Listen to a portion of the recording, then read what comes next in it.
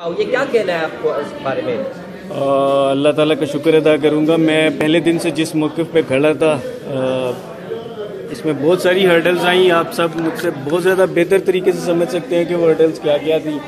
लेकिन अल्लाह का शुक्र है कि आज पुलिस ने ये खुद एडमिट किया कि बच्ची अगवा हुई उन्होंने अगवा की शक लगाई। अ, मैं मज़ीद अब ये चाहूँगा कि जो जो पुलिस का फ़ाइनल चालान आएगा उसके अंदर कुछ टाइपोज़ के एरर हैं जैसे शबीर का नाम मिसिंग है। हमने वो कंफर्म किया पुलिस से उन्होंने कहा कि ये एक टाइपो था।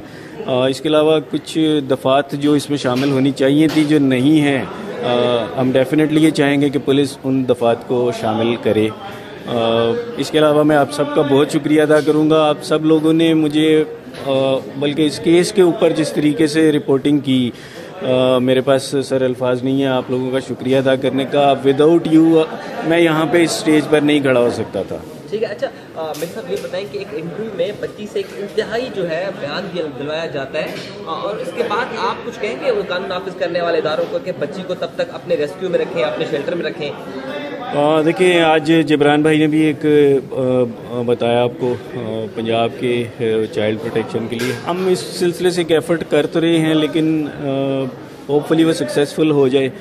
देखिए अब जब एक चीज़ साबित हो गई है कि बच्ची माइनर है आ, इसमें रुआकार शामिल हैं तो डेफिनेटली मैं कहता हूँ कानून नाफिज करने वाले इदारों को खुद ही हरकत करनी चाहिए और बच्ची को एटलीस्ट सेफ़ हैंड्स में लेना चाहिए। अच्छा मेहदी साहब आपके पूरे केस में एक लेसन तो सबको मिल गया कि नेवर गिव अप बिल्कुल सर मैं एक जगह खसूस जिस दिन हम हाई कोर्ट से आठ तारीख को निकले थे उस दिन मैं बिल्कुल अ, बिल्कुल मैं टूट चुका था, लेकिन अल्लाह ताला की मदद हुई। अल्लाह ताला देखिए अल्लाह की मदद डेफिनेटली अल्लाह के यहाँ कभी भी जो है वो अंधेर नहीं होती।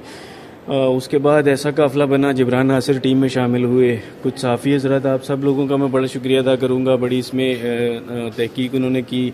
बाबर सलीम भाई का शुक्रिया अदा करूँगा। जो चीज़ें शुरू दिन से आनी चाहिए थी वो बाबर सलीम के एटलीस्ट जो सी डी आर निकले उसके बाद पुलिस उसे डिनाई नहीं कर सकी क्योंकि वो एक फैक्ट्स थे और अब वो पुलिस ने शामिल किए हैं और इसी इसी की बदौलत दफात लगी है। साहब आज वैसे बड़े खुश नज़र आ रहे पिछले तीन महीने में पहली दफ़ा मैं देख रहा बड़े खुश आ, बिल्कुल जी मैं जिस मैं मैंने पहले भी बताया मैं जिस मौक़ पे कायम था अल्लाह ताला ने आज उसको सामने एक दफ़ा फिर लाया है। मैं परेशान भी हूँ इसलिए कि अब बड़ा क्रिटिकल सिचुएशन है इस वक्त। अगर आप बच्ची को लेकर देखें तो आ, जैसे पिछले कुछ दिनों से कुछ खबरें भी चल रही हैं।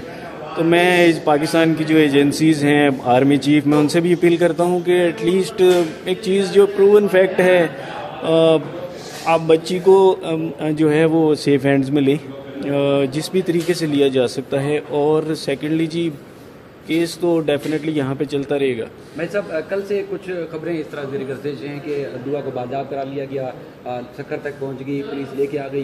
तो ज़ाहिर अगर बाजाब होगी तो आप तक इतला होगी क्या ऐसी इतला है आपके पास? सर मेरे पास कोई कन्फर्मेशन नहीं है मेरा ख्याल है कि ये अफवाहें हैं। मेरे पास अगर कोई कन्फर्मेशन होती तो मैं आप सब भाइयों को सबसे पहले बताता।